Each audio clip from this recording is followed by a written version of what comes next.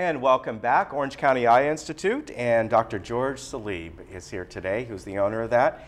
And you've um, brought along with you some photos of some equipment that you use in your office, which I, I think is going to be very fascinating. Before we start, I want to give a little reminder here that uh, Dr. Salib is going to speak at the Kiwanis Club today, and that takes place at Clubhouse 2 at 11:45. So if you want to go to that, uh, they do you know a luncheon every week. You're going to be there, aren't you? Yes, I am. Yeah, I'm gonna. I'm trying to look. To, oh, here it is, right here. This is the actual. It is um, the lunch is eight dollars for members and nine dollars for guests. Because I might not get to this announcement later. You can call the Kiwanis Club at 830-9120. So uh, you are one of the the get monthly guests. They have guests every month, and uh, you're going to be there this uh, this uh, this lunchtime. Yes, Great. Looking forward to it. All right. So in uh, your office, you have, uh, as you were saying right before we got on, you have some new equipment that you wanted to talk about. And I, I was going through these photos, and they, they, very, they look kind of space age, and I mean, even the design of them. So tell us about all these. Yes, Let's look sure. at the first one here. Yes, I, I'm very uh, happy to be um, talking about this equipment. This equipment is really some of the most advanced uh, uh, diagnostic equipment available in ophthalmology today, and it just kind of uh, shows our commitment to having the, the best uh, diagnostic and measurement type equipment available for our patients to do the best types of surgery and uh, diagnostic testing. So this is what we call a corneal topographer, and it's actually also a corneal tomographer. This is called the Galilei G4. And it's the most advanced type of equipment of its kind, and it's meant to measure the uh, front and back surface of the cornea of the eye. The cornea is the clear surface on, uh, on the front of our eye where we would, for instance, put a contact lens. Okay. So that cornea is a very important piece of our eye because it's Yeah. the window to our eye. And this machine actually combines two different technologies to make a very accurate assessment of the shape of the cornea. So it's like a, a topographic map of the mm-hmm. Earth, for instance. It gives you the, the mountains and the valleys of the cornea, of course, in very micrometer resolution. And this is important for, for instance, if we want to do cataract surgery, we can get accurate measurements of the curvature of the eye, which is one of the main components of determining which lens goes in your eye. And it also determines if you have any eye diseases of the front of the eye. Would this be part of, at least after a certain age, a normal eye exam? Or do you do initial eye exams and they say, you know, we need to take this a step further uh, with this device here? This is usually something we would do for uh, if we detect something, uh, an issue with your eye, for instance, if we look at your eye and you have dry eyes, or if you have an abnormal curvature of your eye, we'll say, well, we should do a corneal topography. But we also do it as the normal pre-operative workup, for instance, for a cataract surgery, Okay. uh, in order to determine what is your best uh, possible vision to see if there's anything that would be a detriment to your vision after cataract surgery. Okay, so this is a fairly new device, and I would imagine it just gives you a much clearer picture of what's going on with the, uh, the cornea. Where you got, when, when the surgery comes in, it ju- it's just that much more precise. Exactly. I've even had one uh, world famous uh, surgeon from LA send their patient all the way down here to get a picture with this equipment because it's so rare. Yeah, it's it's uh, it's really neat looking. It, it It is space age. yeah, I mean it really is. All right, we have OCT. Now, what does what does that stand for? That stands for optical coherence tomography. Okay, what's that? A, yeah, it's a mouthful, so we usually just say OCT.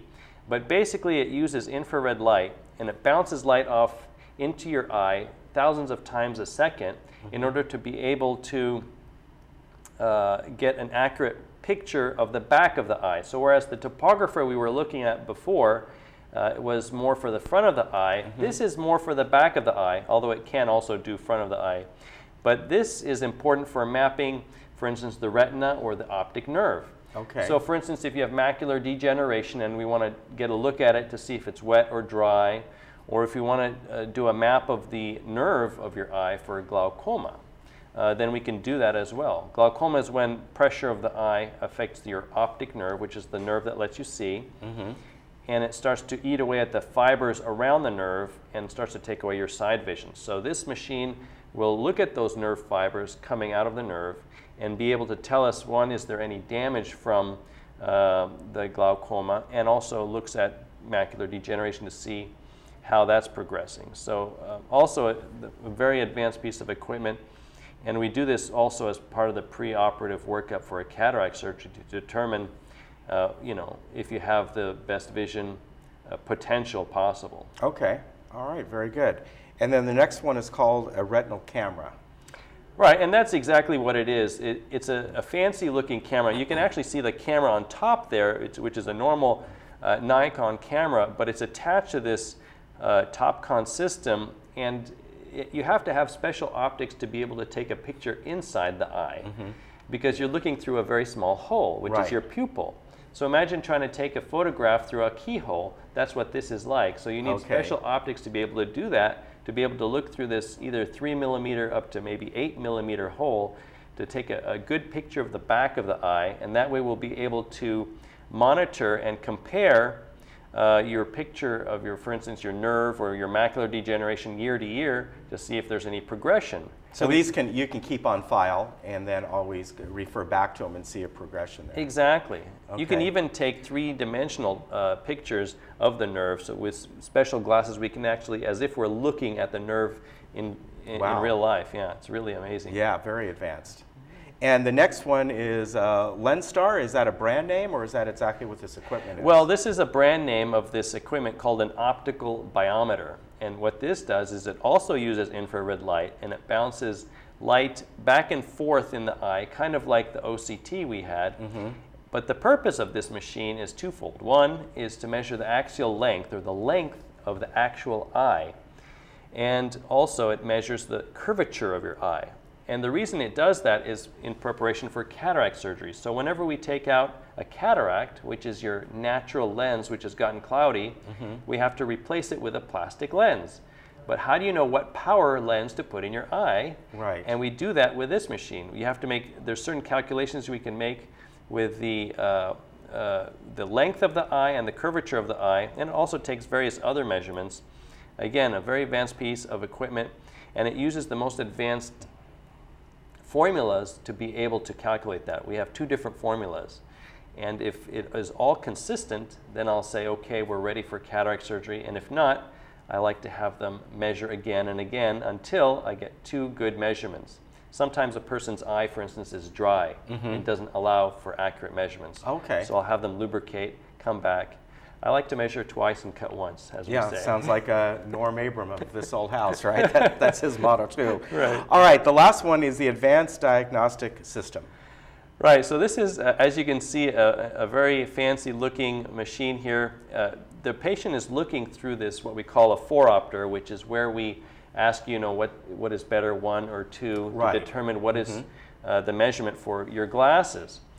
But it's electronic. It's totally electronic. We can measure, we can guide it with these little dials. And the interesting thing is we can actually measure your eyes with a different piece of equipment or your glasses and have it electronically through Bluetooth sent to this machine so that wow. there's less transcription error, less error of you know going from one machine to the other. Mm -hmm. And then we have an advanced um, monitor where we can actually test your vision and shine lights in your eyes through this special piece of uh, this special video monitor to see how glare affects your vision. Because oh, wow. your yeah. vision might be good in the dark, but if a headlight's in your face, it might be something different. Yeah, you've often heard uh, about you might see that star pattern or something like that. Exactly, exactly. Yeah. So we simulate that with this machine too. And this is, is this basically an updated advanced version of something that's been used before? In fact, the Bluetooth capability and all that? Yes, exactly. It's uh, all electronically based. It's, uh, it's much more efficient and much more um, accurate. Yeah, so all this stuff is really, so you can do a better job as, uh, and, and your, all your colleagues as a surgeon get as, as precise as you possibly can the first time. Yes, that's the, that's the goal. That's what we do and that's what we strive for. We, I like to uh, strive for perfection in a way. We can't always achieve perfection, but we like to have as accurate measurements as possible um, and the best diagnostic equipment to better serve our patients. Are you seeing with this new equipment sort of uh, maybe every few years a leap in the technology? Uh, does it happen every few years that you've seen, or is it uh, much like the um, what you see in the computer and tech industry, where it's every every six months? It's an exciting time to be in ophthalmology because the technology is always changing. I would say every year something new comes out, uh, but I always try to get the most advanced things in order to be able to uh, stay at the forefront. For instance, some of that G4, the uh, topographer unit, mm-hmm. has an upgrade capability for future technology. So I'm looking ahead towards that. But yes, it's always changing and always getting better. Yeah, well, that's good for everyone. Yes. When you look at the different technology that's out there, uh-huh. do you look at your client base and select the things that you think will fit your client base the best, or is it just overall a better technology for uh, everything you do there? Well, uh, in in ophthalmology, we have to be prepared for all types of eye problems that mm-hmm. come in, all types of uh, eye diseases, for instance. I deal with a wide range of, of ages and a wide range of diseases, so I like to get instruments that are able to meet the needs of everybody. Okay. Yeah, very good. Well, again, Dr. Salib, uh, there's his number on the screen 949 380 eyes or 3937.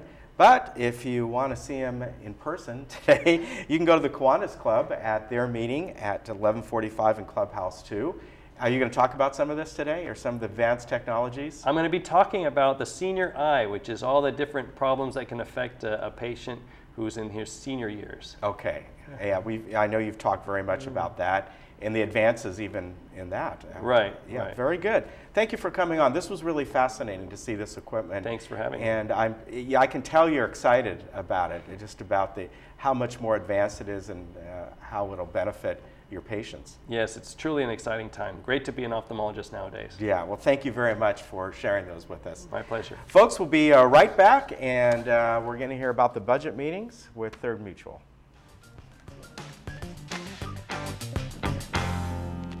I was having more and more difficulty seeing clearly, especially street signs. You have no idea how many U-turns I could make before I got to my destination if I was in an area that was unfamiliar. So I consulted with Dr. Salib, and uh, he performed cataract surgery on both eyes. As you can see, I'm not wearing glasses. And um, I get to my destinations in a very short time. We are located in the Saddleback Memorial Medical Towers. See well, live well.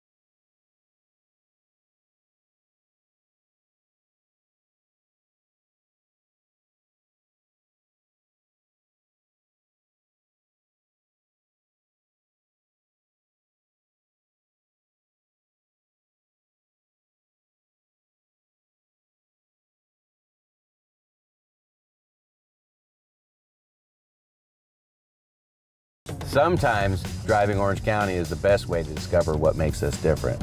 A realization that our dynamic present is solidly connected to the past. That Orange County has always been the home of innovators. At South County Lexus, we're a part of it. From giving you a better selection with one-to-one customer care that no one can match, South County Lexus really is a different experience, a better way. Because here, the journey makes the destination better. South County Lexus at Mission Viejo. Different, just like you.